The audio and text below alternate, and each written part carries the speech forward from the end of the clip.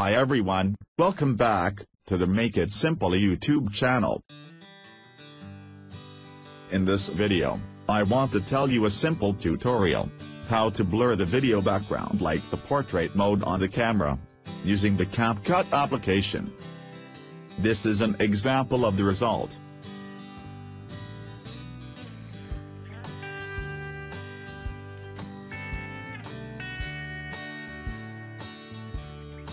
But, before going to tutorials, I hope you subscribe to this channel first, and then click the bell button, so that you get a notification, every time there is a new video from me.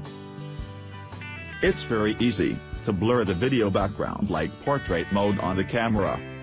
The first step, create a new project in the CapCut application. Then add a video or even a photo, that you want to edit like portrait mode.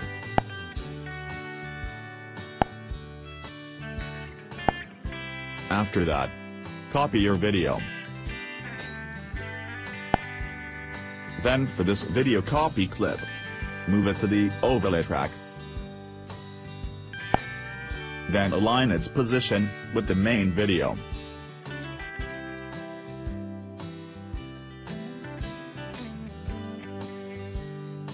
The next step? You can remove the background from this copy video. And, wait for the process to finish. OK. For the next step, we will create a blur effect on the main video. To do that, go to the Effects menu. Select the Video Effects option. Tap this basic effects category. Then choose an effect called blur.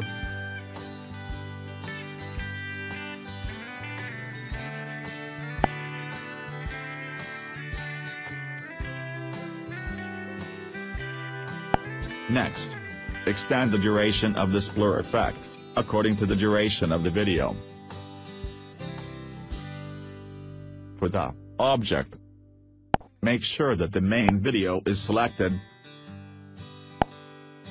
Then on the Adjust menu, you can adjust the level of video blur, as you wish.